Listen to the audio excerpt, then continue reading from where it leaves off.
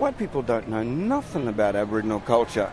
Only time they know something about Aboriginal culture when it's negative in the papers. It's no good for us. They bypass all the positive things. Ah, it's just another thing. They don't want to know the positive things. We're trying hard to be positive. With the radio station and with our own works around town, we're trying to be positive. But, but We surely, gotta-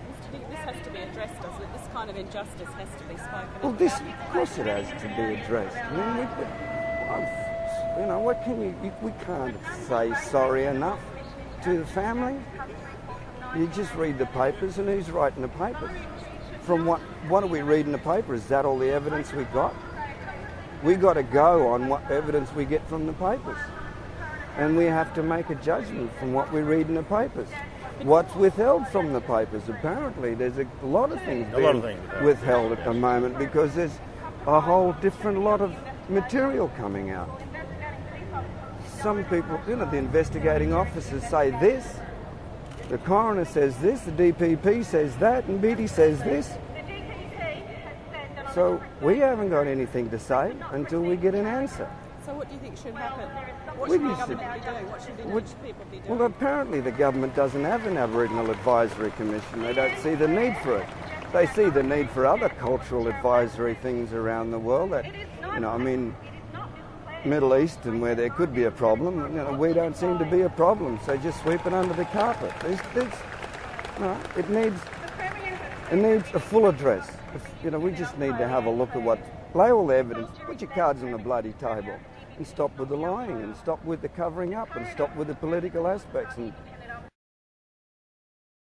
if- you know, we just need to have a look at what, lay all the evidence, put your cards on the bloody table, and stop with the lying, and stop with the covering up, and stop with the political aspects. And I know I'd like answers so I can go take another step tomorrow. I've got to deal with people every day.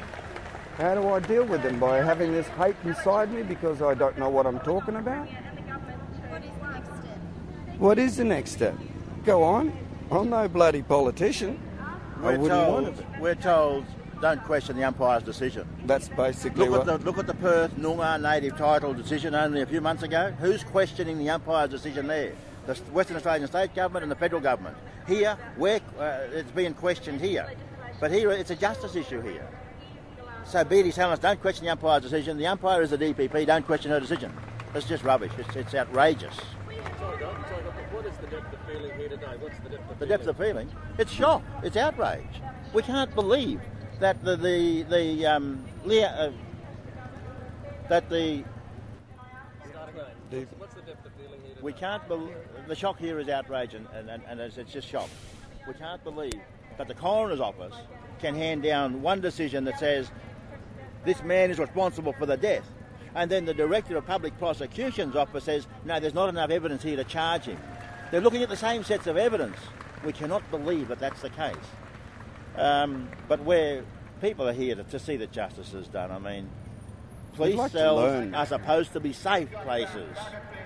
There's going to be a lot of people in police cells over this next month, month and a half, due to the festive season. We'd like to think that they're safe places. It's obviously not. This has gone on for far too long. Indigenous people being treated in this way is far too long. It's got to stop.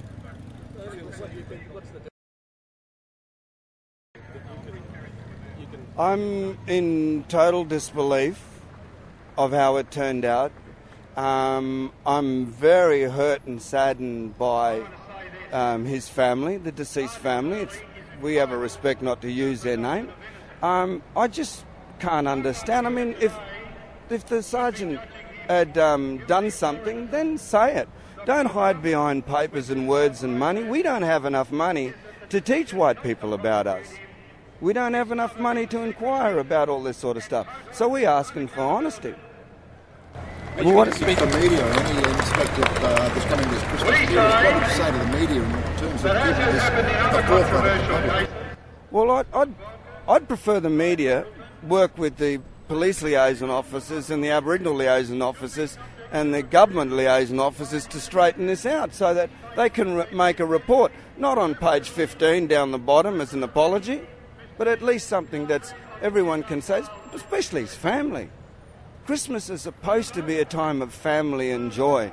You know, it's, it's a bit hard to be joyous at a time like this when you don't have answers. You know, a lot of people don't even know what Christmas is about anymore. Are you planning on addressing this What would you say to the media? Huh? What would I say to the media? Yeah. Are you planning on addressing? Well, uh, we'd have to think about that, but there, there, there's probably people out there. But just for somebody in the state. New South Wales Well, if they, if they could talk about umpires, why didn't they bring in an outside umpire to try and um, umpire this? If they can do it in cricket, bring in an international umpire. Well, I reckon it might There's be a bloody third good umpire in cricket. Oh, sorry. Yeah, so now third umpire in cricket. So, you know, the this word- is justice we're talking about. The funny thing about this, I knew there was a protest here today because my neighbours are the mounted police, and they told me they cancelled the barbecue. They cancelled the barbecue last night because they were coming to a protest, and I said, "Oh well, if you don't come, if there's no barbecue, I'm coming to the protest." That makes sense. Do you think there should be an Indigenous input into the inquiry, like a um, like Pat O'Shane or someone like that? I don't know if it's Pat O'Shane. I see someone from up that area up there is none other than Noel Pearson. That man's got more than a head on his shoulder. He's got direction and he's got good leadership. So with Noel Pearson's um, request into, if they request Noel Pearson to have a look in there, he'll be judgmental to the way that's everyone respects of him and everyone understands what Noel Pearson says. So if he's up there, get him on the job as to things, and otherwise call in someone from. I don't know who else could you call in. Who else could you call in? Yeah, there'd be others around. Dotto. Well, there's Tom Calma, the, the Commissioner for um, Human Rights. Tom Calma, an Aboriginal man, you know, he could be involved. Um, he's got a high post, a government post, Aboriginal man. That's one person that could be um,